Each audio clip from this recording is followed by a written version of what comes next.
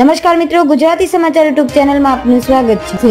કોલસા ખરીદી કૌભાંડને લઈને કોંગ્રેસ પ્રમુખ શક્તિસિંહ ગોહિલનું ટ્વીટ. ઋષિકેશ પટેલને ટેક કરીને સવાલ ઉઠાવ્યા. કોંગ્રેસના પ્રદેશ પ્રમુખ શક્તિસિંહ ગોહિલે કોલસા ખરીદી કૌભાંડને લઈને એક ટ્વીટ કર્યું છે. આ ટ્વીટમાં શક્તિસિંહ ગોહિલે ઋષિકેશ પટેલને ટેક કરીને કેટલાક સવાલ ઉઠાવ્યા છે. કોંગ્રેસ પ્રમુખે કહ્યું કે અદાણી અને જીયુબીએનએલ પર થઈ રહેલા આક્ષેપ મુદ્દે પ્રવક્તા મંત્રીએ સંતોષકારક જવાબ આપ્યો નથી. શક્તિસિંહ ગોયલે કહ્યું કે, ત્રણ હજાર નવસો કરોડના કૌભાંડ પર પ્રવક્તા મંત્રીએ અર્થહીન જવાબો અને માત્ર ટિપ્પણી જ કરી છે.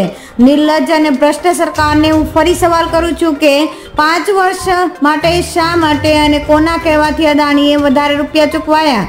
શક્તિસિંહ ગોહિલે ટ્વીટ કરતા લખ્યું, છવ્વીસ ઓગસ્ટ બે હજાર ત્રેવીસ શનિવારે નવી દિલ્હી અને અમદાવાદ ખાતેથી ખાસ પ્રેસ કોન્ફરન્સમાં દસ્તાવેજી પુરાવા સાથે ત્રણ હજાર નવસો કરોડ રૂપિયા કેવી રીતે માનીતા ઉદ્યોગપતિને આપી દેવામાં આવ્યા છે? તેની હકીકતો રજૂ કરવામાં આવી હતી. ધન્યવાદ, જય હિન્દ.